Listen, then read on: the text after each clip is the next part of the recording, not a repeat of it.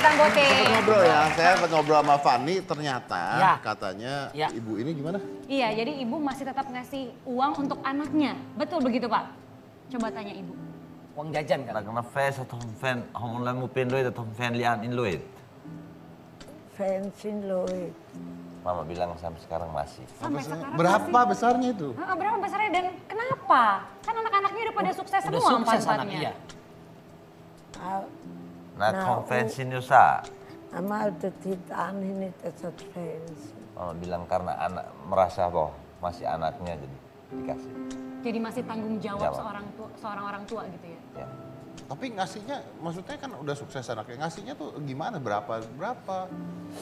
Nah, kau anhinin meput nalek ben lu itu luit nusa. Ne oplian it esa aku Unausin. Dia merasa kasihan sama anak-anak. Enggak, mungkin berapapun jumlahnya, berapapun ini, nominalnya. ini itu bukan masalah nilainya. Iya. Tapi sayangnya ibu itu tetap dikasih dia anaknya udah sukses-sukses pada. Iya. Jangan-jangan lebih kan gede. kita penasaran kalau bupati dikasih duit berapa gitu kan sama Iya. ibunya buat uang jajan gitu kan. Atau tiba-tiba kita langsung aja tanya bapak bupatinya aja langsung ini adalah. Raimundus Sau Fernandes. Ye, Bupati NTT. Selamat datang Bapak. malam, apa kabar? Malam. Baik, Malam. Pak. Apa kabar Pak? Ya. Pak. Bapak Bupati, silakan silakan. Silakan duduk, Pak. Baik Mas Ridi, ini saya dengan masyarakat Timur Tengah Utara. Pak. Madep ke depan, Ya Pak. ini Oh, oleh-oleh sedikit. terima kasih banyak. Oke. Ya. Ya. ya. Silakan Pak. Mama Pak itu Pak. Ya ini mama saya. Ya iya dong, itu kan anaknya dia tahu. Ingetin. Ah. itu saya tadi nanya, katanya masih dikasih uang Pak anak-anak. Benar. Ini semua Mama- anak Pak dikasih ya. uang. Jadi mama dan bapak itu kalau eh, setiap penjualan ternak sapi itu selalu eh, kami di jatah itu selalu di- diberikan kepada kami. Jadi itu dibagi untuk lima orang. Jadi bapak dan mama punya jatah sendiri. Saya selaku anak pertama, kedua dan ketiga sama keempat itu selalu kebagian jatah. Nah, pasti Anda sebagai, maksudnya Anda udah sukses di bupati dan sebagainya. Anda pasti nolak dong harusnya dong. Awalnya Nah, nolak, terus gimana tuh kalau nolak? nolak mama marah. mama marah. Marahnya bahwa- bilang apa Pak? Marahnya gimana Pak? Iya, ma- bahwa ini adalah memang haknya kamu. Karena yang dihasilkan oleh orang tua adalah milik anak-anak. Yang dihasilkan oleh orang tua dan milik anak-anak sehingga eh, hasil penjualan ternak atau hasil olahan dari sawah dan ladang anak-anak tetap masih mendapatkan jatah itu. Saya terus terang kami setiap bulan selalu dikirimin beras dari mama. Masih, Sampai dengan saat ini masih dikirim. sampai dengan saat ini. Ya. Nah, Anda sendiri kalau ngasih uang ke ibu pernah ditolak? Ulang-ulang ditolak. Ulang. Tapi ulang-ulang juga dimarahin. Ya, ulang-ulang dimarahin juga.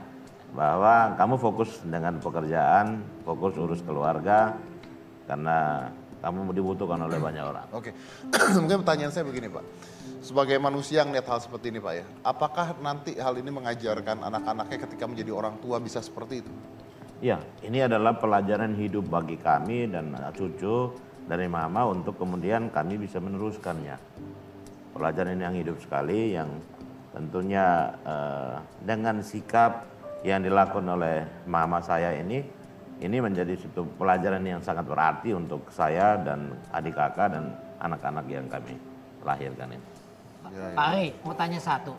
Cemas nggak sih kan ke pasar sendiri, pulang sendiri, sudah kan sepuh lah gitu ya, udah sudah Ya. berusia. Gimana Pak Ari? Atau jangan-jangan kamu tolong staf saya ikutin mama saya, kita nggak tahu kan? Gimana Ya. Pak Ari? Cemas pasti cemas. Khawatir sebagai anak dengan melihat mama pada usia 78 tahun, tapi aktivitasnya masih. Mama ini tidur sehari itu 2 sampai dengan 4 jam. Berapa? Setiap Dua hari sampai 2 empat sampai dengan 4 Hanya jam. 2 sampai 4 jam. 2 sampai dengan 4 jam. Aktivitasnya. Jadi pagi itu bangun an- paling cepat itu jam 3 setengah 4. Karena saya anak yang tertua, mengerti dan tahu betul tentang mama dan bapak. Sehingga mengikuti persis. Jadi kalau kita bangunnya telat, jam setengah 6, jam 6, itu bangun sudah tidak temukan bapak dan mama. Mama sudah selesai tumbuk padi, masak, kemudian tinggal itu sudah keluar. Bapak sudah berangkat pagi ke ladang dan juga ke ternak sapi. Anda sendiri masih disuruh eh, nanam kebun di sawah? Saya masih, Masih. ya. Jadi kami mewarisi dan saya mewarisi profesi yang dilakukan oleh mama dan bapak sebagai petani. Saya petani. Masih sebagai seorang. Sampai saat ini masih seperti itu. Oke. Tapi tadi kan dikatakan bahwa cemas pasti cemas gitu ya. Tadi saya juga udah nanya dengan eh, adik Anda gitu. Itu pernah dilarang nggak? Pasti Anda juga pernah melarang sebagai anak paling tua pernah melarang. Larang ulang-ulang, bahkan saya dengan ibu datang ajak mama dan bapak ke rumah. Tapi ditinggal sebentar, pulang sudah tidak lihat lagi. sudah Ke mana? pergi. Ke mana? Sudah pulang. Pulang ke rumah, bahkan dengan ojek. Oh dia ojek ya, sendiri motor aja. ojek. Ojek sendiri pulang ke rumah. Tidak betah dengan kita. Jadi setelah kita menanyakan, kenapa bapak dan mama tidak mau? Dia bilang kami punya kehidupan sendiri. Kami punya kehidupan sendiri dan kami harus jalani kehidupan kami itu sendiri. Jadi tidak mau tinggal dengan anak-anak. Paling lama itu dua tiga hari. Nginep aja gitu lah, main-main gitu ya intinya ya. Kalau itu juga kalau kami sakit, anak cucu-cucunya sakit, paling lama dua tiga hari pasti dengan kita. Begitu pulih, tinggal pasti. Begitu pulih pasti. Berarti masih melakukan sebagai ibu dan anak intinya. Berapapun Iya. usia Anda toh. Ya sampai dengan saat ini ya, ini mungkin sedikit cerita Mas Dedi karena kami sesungguhnya delapan bersaudara. Tetapi empat orangnya sudah kembali, sudah pula meninggal. Karena apa? Eh, lahir di saat susah. Lahir di saat susah. Saat susah di tahun 60-an kakak-kakak saya empat orang itu lahir pada usia 3-4 bulan kemudian meninggal. Oh. Saya kemudian lahir dan hidup yang dan dianggap sebagai anak pertama. Nah, dia hidup dan oleh mama dan bapak ini eh, cerita ke saya masih masih kecil itu enam bulan itu menangis siang malam. Karena saya menangis siang malam selama enam bulan, tentunya ya hubungan batin antara saya dengan mama dan bapak tentunya sangat dekat, ya. sangat dekat itu. Nasihat yang paling diingat Pak. Ya kerja sampai dengan selesai.